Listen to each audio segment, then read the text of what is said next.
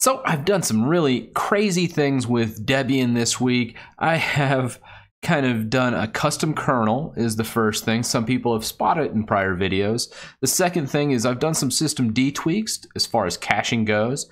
I've also done some performance increases so my games play a lot better using something called game mode. And then also I did something in Wine where it actually ended up installing a virus which I didn't even think was possible but makes sense that it would actually kind of work. And I want to give you all the details on that, so stay tuned.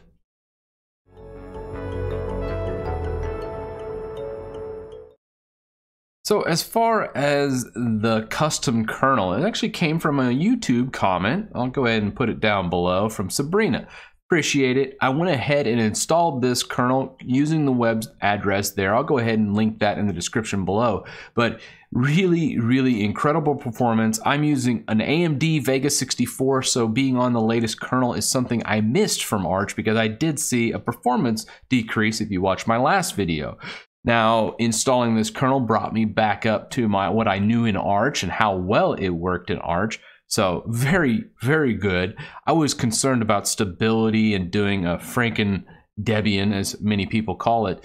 And it was kind of unfounded, at least in my case. It still works flawlessly. My system works way better than it did in Arch as far as stability goes. In Arch, I was still getting lockups here and there and some low power problems coming from like standby and doing reboots and those types of things, it sometimes would lock up. Where in Debian, it has been just rock solid. And I was afraid going from the custom vanilla kernel into this kernel, I'd have some issues, but I actually did not. It was a very, very seamless process and just fantastic.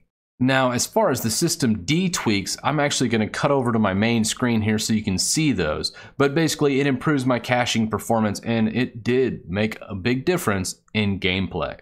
Okay, so to make these changes that we need to make in our system D cache to just improve gaming performance, if you're seeing stutters and just general sluggish behavior, you might make these system D tweaks if you're on Arch or Debian. I've done it on both, uh, and it has seen a substantial increase in gaming performance. So let's go ahead. I'm going to show you the file that I make these changes to. If this file doesn't exist for you, uh, just be sure and create it. So let's go ahead and go into system control.d in the etc folder. And if we do a listing, we need the 99-sys.conf and we're going to modify that. So I'm just going to nano this um, as super user. And there's already a bunch of stuff. Just go down to the very bottom and then we're going to make our changes right there. So um, I'm adding these four lines, and I'll also put this in the description of this video as well.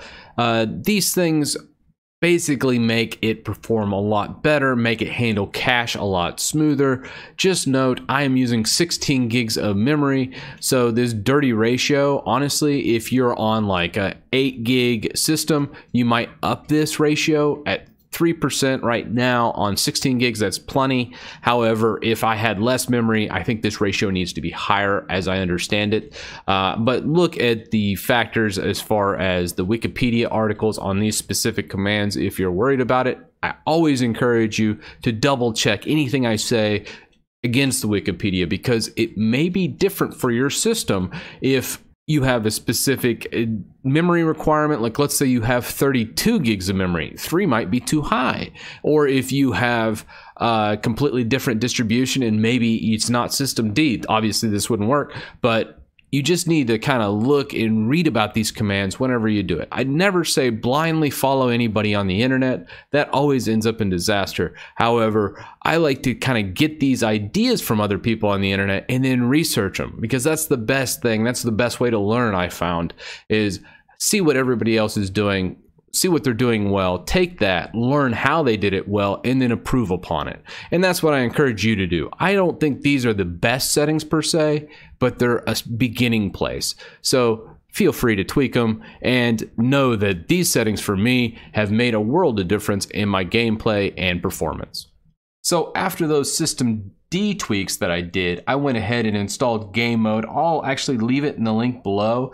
But basically what you do is you do a game mode and then the command or game mode run command from that actual GitHub article, and it basically removes all the governors and things like that on the actual system, which made another performance increase. So, right now, after all these tweaks, I am now seeing the best performance I've ever seen in my Linux instance or any Linux distribution thus far. So, when I first installed Ubuntu or Fedora back in November, oh man, this is by far the best performance the fastest my computer's ever run and the most stable and reliable it has ever run, hands down. So it just kind of goes to show Linux is Linux, guys. You just got to tweak. Some distributions are less friendly and you have to do more work to get it to where it needs to be. But right now, I am taking tons of backups, full system images, because I want to be able to get back to here. I worked really hard to get my system to where it's at, and it is running just so good. Ah, I can't emphasize this enough. So, very happy. On the contrast, I actually booted back into Windows to play some VR, and it just felt like going from a Porsche or a Ferrari into a beat up old Geo.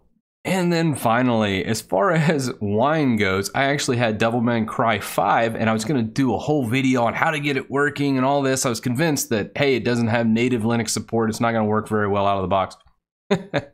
it took one INI edit. It literally took literally just changing the Devil May Cry from the local files in Steam from DirectX 12 to DirectX 11 and everything runs flawless. So it, the video itself would be like 30 seconds of setup and then the rest would just be gameplay. Not really worth a video. So if you are wanting to play Devil May Cry 5, just make sure your DirectX is set to 11 instead of 12 and you'll be golden. Uh, but it's just amazing all the other stuff. Now I have an ultra wide, as if you've watched any of my other past gaming videos, I've showcased. Now Devil May Cry did not have an ultra wide setting. So I thought, hey, let me look up and see how to do this. And some people were doing some hex edits on its executable to get the ultra wide functionality. And then I found this patch. Hey, make Devil May Cry 5 an ultra wide. Yeah, I had totally installed this completely unsanctioned patch from some untrusted forum that I've never even met. And shocking, it was a virus. I could not believe how how funny it is that it would actually run it and it was having some issues with my system. So what ended up happening is it spawned zombie processes. From those processes, I'd go through just like in Windows Task Manager, go through and kill them, and then they just respawn. And I was just getting a good chuckle out of this. I was like, this is awesome and horrible all at the same time and I rebooted my computer, comes back up. Obviously, since it's isolated into a wine prefix, it's not going to spread through your Linux system and infect everything like it would in Windows. That's Windows' downfall.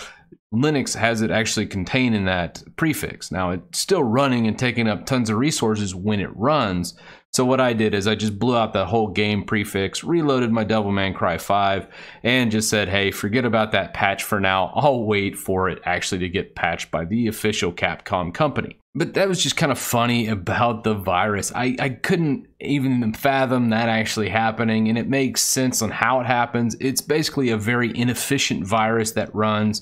It did spawn a whole bunch of stuff, sucking up some resources, but if you've seen any of my videos, I constantly have my resource monitor up. So when I see all my CPU cores spike 30%, I know something's up. And that's when I saw all these processes and I just got a good chuckle from it. Uh, needless to say, everything's fine now. System's still running perfectly. I'm not saying any of the runaway processes like I did before. And, uh, you know, everything's right with the world. And I'm just loving life right now. And that's going to be it for today's video, guys. If you'd like to contribute and help make more of these videos, consider visiting me on Patreon. And I also created a donation link. If you don't like Patreon, you can directly donate to me on christitus.com. And I'll see you in the next video.